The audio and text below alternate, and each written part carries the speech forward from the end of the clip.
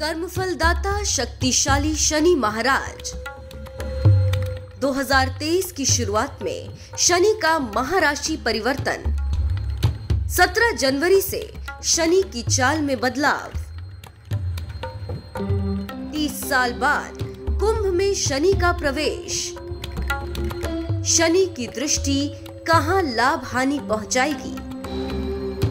आने वाले ढाई वर्षों तक शनि क्या कुछ देंगे? देखिए सिर्फ़ धर्म ज्ञान पर।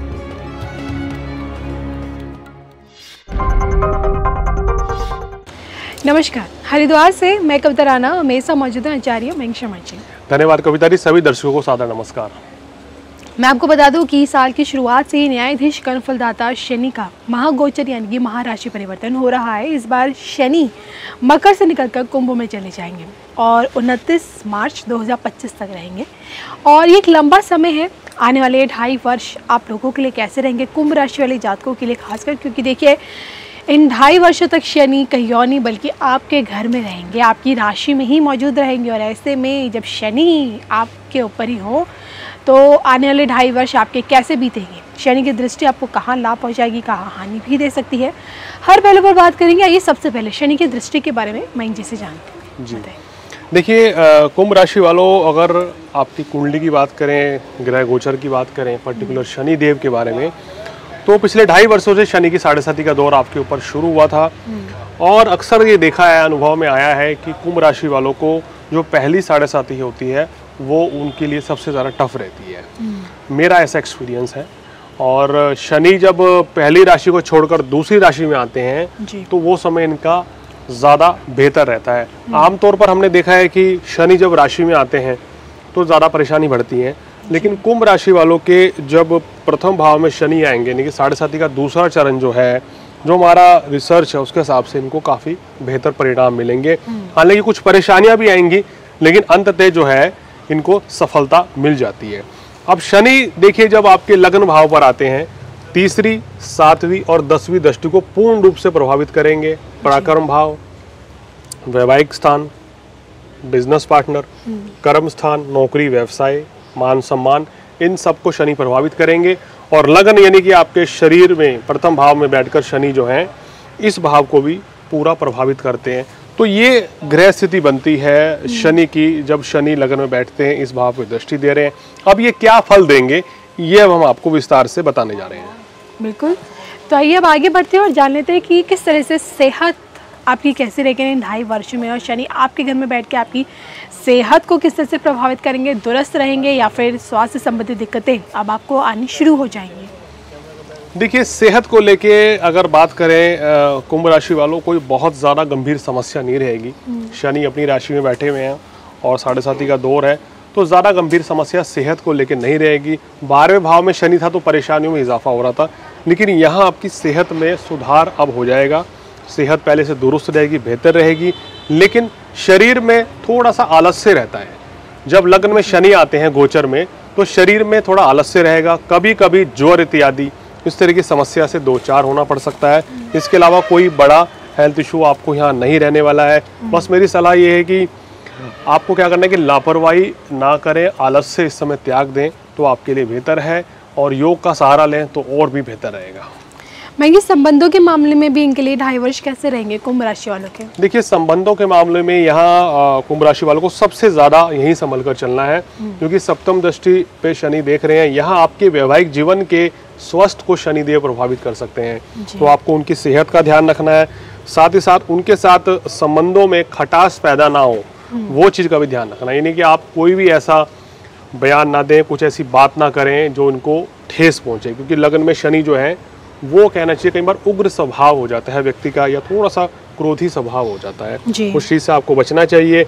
वैवाहिक जीवन में मधुरता लाने का प्रयास करें तो आपके लिए बहुत ही अच्छा रहेगा। कुछ परिस्थिति ऐसी बनेगी कि इस समय आप और आपके जीवन साथी के बीच तालमेल कभी कभी कम रहेगा या आप एक दूसरे को समय नहीं दे पाएँगे वो परिस्थिति वश भी हो सकता है कि आप दोनों वर्किंग प्रोफ़ाइल में हो बिज़ी हो या आपका कहीं दूसरे शहर में ट्रांसफ़र हो जाए या कहीं आप विदेश चले जाएँ कुछ भी परिस्थिति इस तरह की बनेगी कि आने वाले ढाई वर्षों में आप अपने परिवार को जीवन साथी को थोड़ा समय कम दे पाएँगे क्योंकि शनि जब लगन में बैठते हैं तो हमने अनुभव में पाया है इस तरह की चीज़ें ज़्यादा देखी गई है। यानी कि थोड़ा बहुत संबंधों के मामले में थोड़ा सा इनके लिए ढाई वर्ष थोड़े से तनावपूर्ण हो सकते हैं।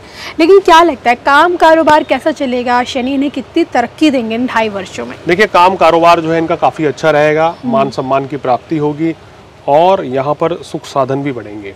अब जो लोग अनमेरिड हैं उनके लिए ये जो शनि है वो काफ़ी अच्छा लाभ देगा।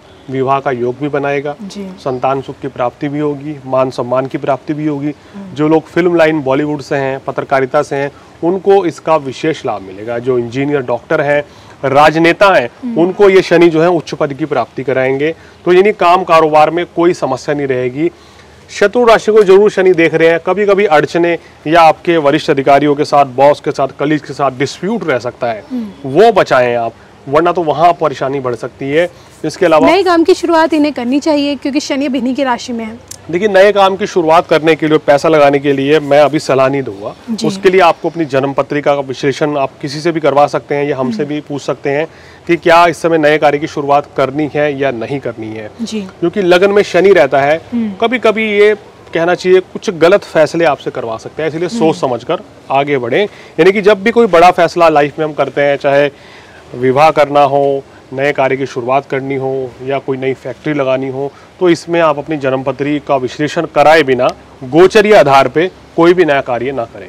चलिए मैं जी ये आपने बताएँ कि काम कारोबार कैसा चलेगा। अगर बात करेंगे आर्थिक पक्ष के बारे में तो क्या लगता है? कितने दौलतमंद ये बन पाएँगे इन ढाई वर्षों में? धन लाभ कितना करा, कराएँगे शनि देव इनको देखिए धन लाभ तो काफ़ी अच्छा रहेगा क्योंकि धन भाव में अभी गुरु भी बैठे हुए हैं और राहु भी यहाँ तीस अक्टूबर तक है। तो इसलिए कुंभ राशि वालों को कोई धन संबंधी मामले में चिंता करने की आवश्यकता नहीं है।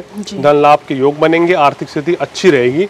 तो कुल मिलाकर आ, किसी तरह की कोई परेशानी मेरे को यहाँ रहती हुई नज़र नहीं आ रही है कुंभ वालों के लिए। चलिए तो महँगी सब तक जाना आपके सेहत के बारे में काम कारोबार के बारे में संबंधों के बारे में और सबसे बड़ी बात आर्थिक पक्ष। और देखिए सबसे बड़ी बात कि शनि अब ढाई वर्षों तक आप ही की राशि में रहेंगे। तो ऐसे में कुंभ राशि वाले जातकों के लिए क्या कहती है? महेश शर्मा जी की एक छोटी सी सलाह। देखिए कुंभ राशि वालों को इस समय क्या करना चाहिए? एक तो सबसे पहले तो वाणी पर संयम रखें सबसे बड़ी सलाह। दूसरी सलाह ये है कि प्रेम संबंधों में मजबूती लाएँ सबसे प्यार से बात करें रिश्तों में मधुरता लाएँ। रिश्ते खराब होने से कुंभ राशि वालों को बचाने चाहिए और किसी से व्यर्थ का वाद विवाद ना करें क्योंकि साढ़े साथी का दूसरा चरण है। शत्रु बाधा ऐसे में कभी कभी देखने को मिलती है शत्रु हावी हो जाते हैं। तो आप अपनी तरफ़ से कोई भी कार्य खराब करने का प्रयास ना करने कोश का प्रयास करें। कभी कभी आपको कुछ समझौते करके भी लाइफ में चलने पड़ सकते हैं तो उसके कहना चाहिए समय के अनुसार अगर आप चलेंगे और परिस्थिति को देखकर चलेंगे तो ज़्यादा अच्छा लाभ कमा पाएँगे। महँगी शनि से जुड़े उपाय क्या कहते हैं? देखिए शनि से जुड़े उपाय के तौर पर हम इस समय कह सकते हैं कि शनि देव की आराधना करें। ओम शम शनिश्चराय नमः। हनुमान चालीसा का पाठ करें और माह में एक बार या दो तीन माह में एक बार अपने घर पे सुंदरकांड का पाठ कराने से आपको विशेष लाभ मिलेगा। दूसरी बात यह है कि आप अपने घर पर शनि देव की ग्रह शांति भी करा सकते हैं जिससे आपको विशेष लाभ मिलेगा। अगर आपको बहुत ज़्यादा स्ट्रेस है तो आपको क्या करना है शनिवार के दिन पाँच बादाम और एक नारियल जटाओं वाला नारियल जो है वो बहते जल में दोपहर के समय प्रवाहित करें। छः शनिवार ये आप कम से कम करेंगे तो आपको बड़ा लाभ मिलेगा और शनि देव के कष्टों से मुक्ति मिल जाएगी। ओवरऑल एनालिसिस जो मेरा आपकी साढ़े साथी के दूसरा दौर में ये है कि सब चीज़ें ठीक चल रही हैं बस थोड़ा सा आपको संभल के चलना है। थोड़ा सा कहना चाहिए ना कि हम देख कर आगे बढ़ेंगे तो हमें कोई ठोकर नहीं लगेगी। बिल्कुल तो ये थे मिस्टर मंग जी जिनसे मैंने जाना है कि कुंभ राशि वालों के लिए आने वाले ये ढाई वर्ष शनि की कृपा से शनि की दया से कैसे रहेंगे। हम दोनों को दीजिए इजाज़त नमस्कार।